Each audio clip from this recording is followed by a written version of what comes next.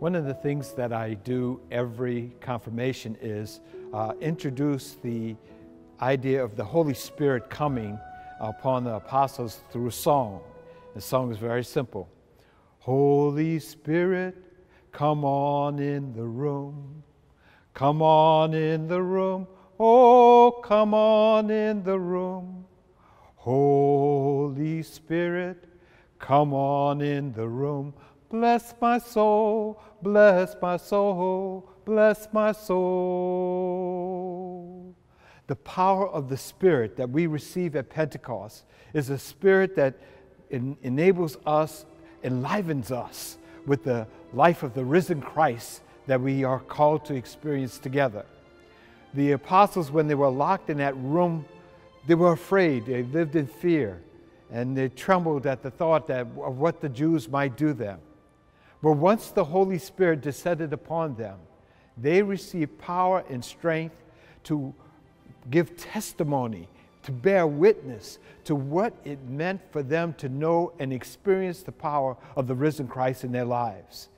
The church was born as they went forth with courage, with holy boldness, and said to the world about who Jesus is and all that God has shown them and shown us in uh, this Christ who is our Messiah.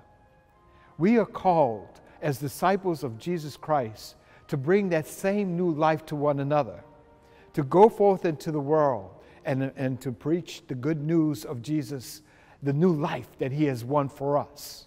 We do that through great signs and wonders, one of which is forgiveness.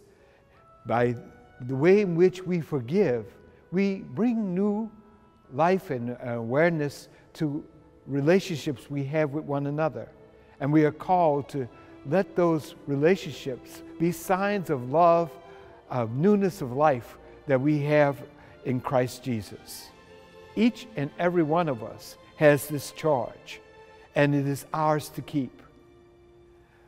To do that, we have to ask the Spirit to come on us, be with us, bless our souls, renew our hearts, enliven our spirits so that we might be living testimonies of God to others. Live in holy boldness this Pentecost season.